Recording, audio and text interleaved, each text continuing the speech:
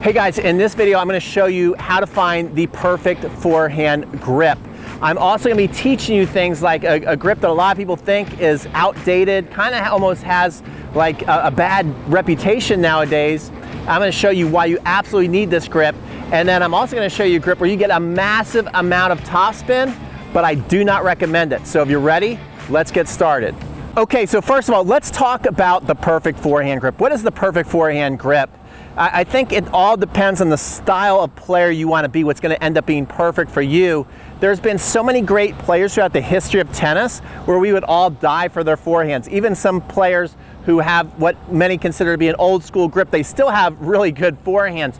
So it's hard to say what the perfect grip is, but it's what style player do you want to be? Do you want to be somebody who hits the ball through the court more with pace but some topspin, or do you want to be a player more like Rafael Nadal where you're hitting massive, massive amounts of topspin?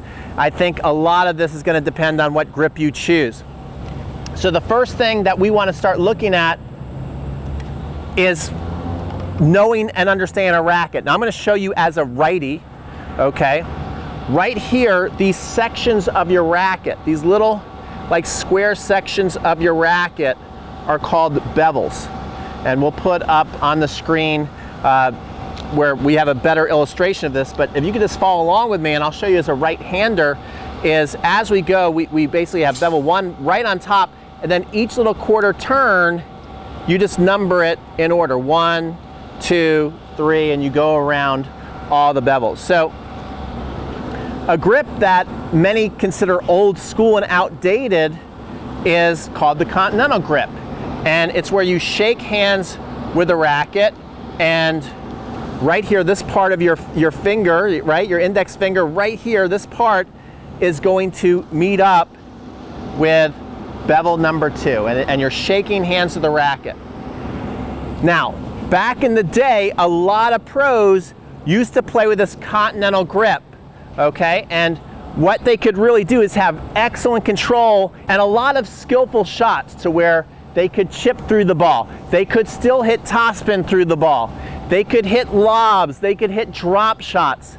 And many people out there watching this video probably think, well, I don't want that. I want to be able to rip it like Roger Federer, like Rafael Nadal. And you actually cannot skip the continental grip, okay? Do not skip the continental grip. And even your favorite players use the continental grip on their forehand. Have you ever seen a professional slide way off the court like Novak Djokovic, like Gumby like he does? Well, most of the time when he's making that shot, he's in that continental grip getting the ball back. Have you ever watched a doubles match where there's a nice defensive lob at your club or on TV? That's made with a continental grip. Have you ever seen a pro set up and rip a big forehand and then all of a sudden hit a little drop shot? They're using the Continental grip, so you cannot skip this. Plus, once you get comfortable with the Continental grip on the forehand, it gets easier to get comfortable with the Continental grip on a slice backhand, or your volleys, which are in the Continental grip, or your serve. Are you starting to see something? You actually use a lot of shots of that Continental grip. In fact, you could argue the only grip that needs to change might be the forehand topspin shot. Okay, so just remember that. Just remember that, that even though you're not going to be using your continental grip forehand to really be ripping through shots and hitting and adding massive topspin, you still want to get comfortable with it. I still recommend you go out some days and practice just hitting and rallying with a continental grip and get good at it. And you're going to find that you're going to add a lot of shots to your arsenal. Okay, let's get on to the second grip, which is called the Eastern grip. Okay, so the Eastern grip, all we're doing is making little quarter turns and really focusing on this part of the hand right here. Just make a little quarter turn and now the strings are gonna start to face down towards the ground. And by the racket shading towards the ground, this is where it becomes easier and easier to create topspin. Okay, but there is a point of diminishing returns, which I'm gonna explain to you later in this video. And even though we're talking about the bevels, one thing I don't want you to do is get obsessed about what bevel you're on and wondering that when you're playing a match. just kind of, it's like you want to find like what's perfect for you. As you turn over, just know you're adding more topspin. What feels perfect for you rather than worrying about what specific grip you're in. But if you just make that quarter turn, you are in an Eastern grip. This is the grip that Federer uses and what Federer is able to do because of this grip, notice when he gets ready, he puts his racket and it's facing towards the ground. He goes into a lag just like Rafa, just like Novak, and then he rips that ball. And you can see that ball is spinning right there off my Topspin Pro. If you're interested in what this Topspin Pro is, I'll put a link in the description so you can go check it out because it is a, a great tool and, and something you can really play with to practice all the different types of grips and figure out, I missed that there, and figure out what's your favorite grip. So now I'm gonna pick up the normal size standard racket and uh, again show you what are the benefits of that Eastern grip. The benefits of the Eastern grip is you can hit the top spin, but you can also drive through the court. Notice Federer when he hits the ball. A lot of times his ball appears to be getting faster through the court than a lot of his opponents because he takes the ball early he takes the ball early with that Eastern grip, he can just keep the ball low and rip through it. Oh my gosh, I actually wish I would have put that in the back because we just nailed that shot and it got through the court in a hurry. So that's a big, big benefit of having an Eastern grip. We'll take a look at some from the back.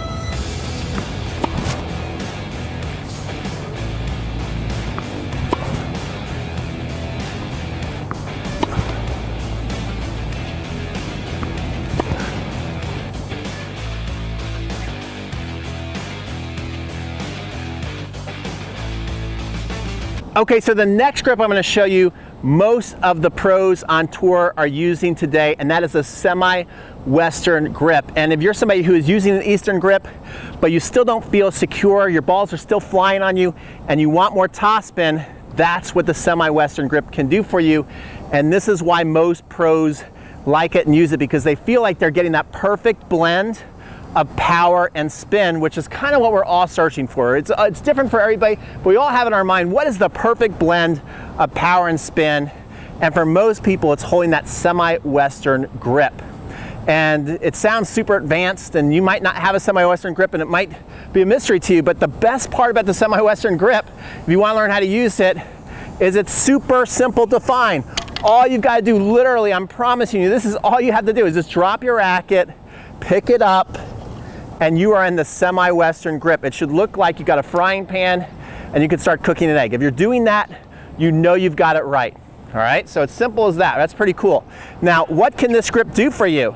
Well, notice how easy the strings are facing towards the ground. You're not gonna have to do any kind of shading with your wrist to make it face the ground. It's gonna be facing the ground automatically right away. So as you continue to go back in your swing and go into your lag, the string keeps facing the ground, so as you come up to the ball, you add massive spin. As you see that Topspin Pro, it's really, really turning over end over end quickly. Now, the cool thing about this is me seeing that happening to the ball is gonna give me more confidence to swing at the ball faster and know that it's still going to go in. And when I need to, I can put the ball higher with spin and I can also hit it lower through the court. Maybe not as easy as an Eastern grip, but I can still flatten the ball out and punish it through the court. All right, so that's what's important about having this grip, and this is where you can really hit your heavy balls.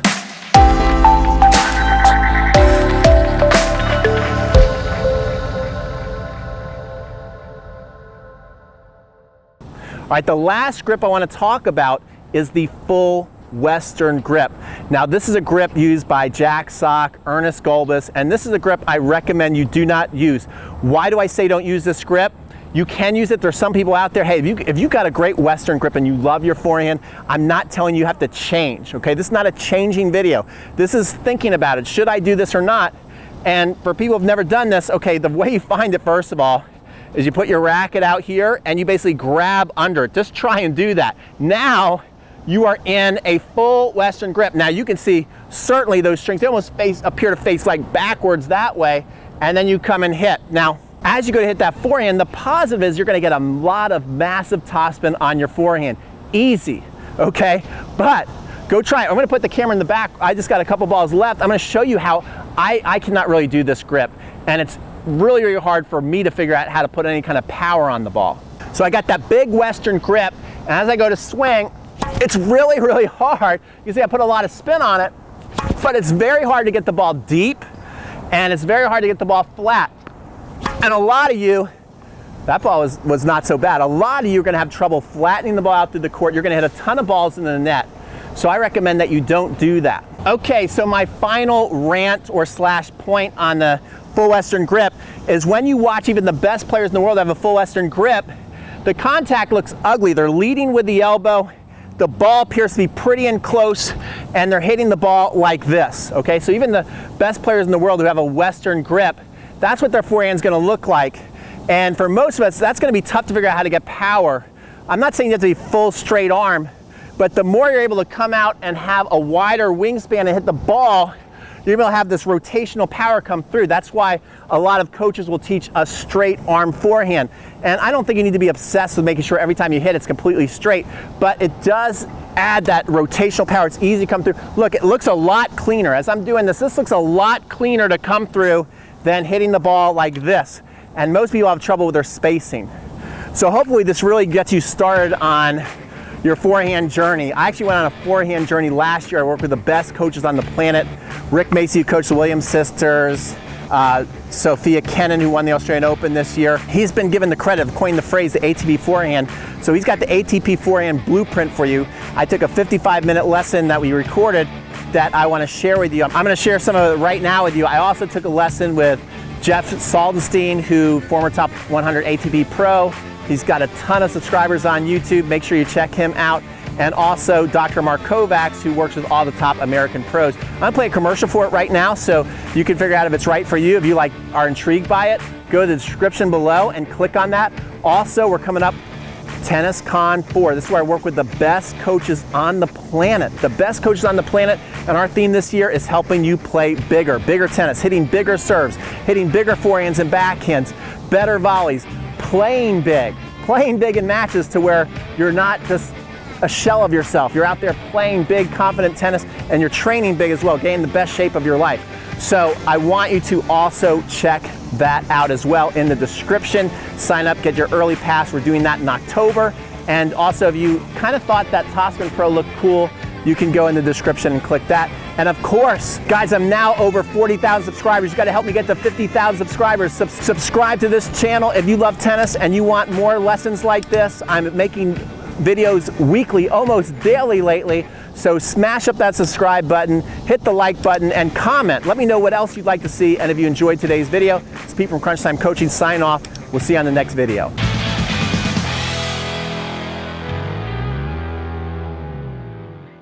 Develop a forehand with massive power and spin without having to give up accuracy and consistency, without having to spend hours and hours on the court each and every day for the rest of your life, and without having to spend thousands and thousands of dollars on lessons that don't work. My name is Peter Freeman. I'm the founder of Crunch Time Coaching, and I have assembled the best forehand training on the planet with the world's best instructors. On this Upgrade Your Forehand Challenge, I've worked with Rick Macci, who has worked with the Williams sisters, Andy Roddick, and now the 2020 Aussie Open champion, Sofia Kenin. Jeff Salzenstein, a former top 100 ATP pro who's one of the best online instructors in the world, and world renowned sports psychologist Jeff Greenwald, who's also one of the best players over 50 in the world. And finally, leading sports physiologist in tennis, Dr. Mark Kovacs. I was on a mission to learn the truth on what truly makes a great forehand so I could bring the coaching gold back to you. So if you finally want to separate the truth from the lies, throw out all the junk and clutter that just holds your game back, you've come to the right place. After playing and coaching now for nearly 40 years, I've compiled everything you need to know to transform your forehand into an Upgrade Your Forehand Challenge. And right now, I want to share with you a three part free training series. You see, I focus solely on the totally obsessed adult tennis player players who want the latest and greatest cutting edge information on instruction proven to get results that local coaches either don't know or refuse to teach you. I've now helped 7,332 totally obsessed tennis players inside my training programs, and I'm going to help you too. Introducing the Upgrade Your Forehand Challenge three part free training series. You can enroll now and join hundreds of other Toy obsessed tennis players just like you over the next seven days to finally unlock power you didn't know you had, gain control and spin that's been missing for years, and turn your forehand into a true weapon that dominates in matches. When you enroll for my challenge today, you're going to get free coaching on the forehand from Rick Macci, Jeff Salzenstein, and Dr. Mark Kovacs. Learn the five things Rick Macci taught me on the forehand that was robbing my forehand of power for my entire life. See Dr. Mark Kovacs teach me how to add 20 miles an hour of easy power to my forehand within 30 minutes and learn how to hit rocket ship inside out forehands with Jeff Salzenstein. If you're sick and tired of hitting your forehand like an amateur and not having the confidence to step in and swing freely, regardless of scoreboard pressure, the time is now. If you've tried private lessons that cost tons of money with lackluster results, or you signed up for dozens of other coaching programs that didn't work and are ready to stop this vicious cycle of disappointment and finally learn a simple, doable method that works for myself and my students, the time is now. Enter your information below. I spent over $6,000 of my own money producing this course so I could share the coaching gold with you. And I want you to start upgrading your forehand right now for free. If this is where your forehand transformation finally begins, wouldn't it be worth it? Click the link and get started. Get free access to the very best forehand coaching on the planet, and I'll see you inside.